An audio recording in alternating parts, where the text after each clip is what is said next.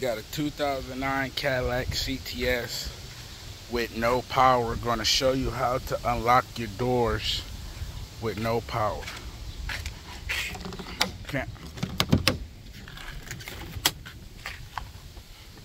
Just want to show that it has no power.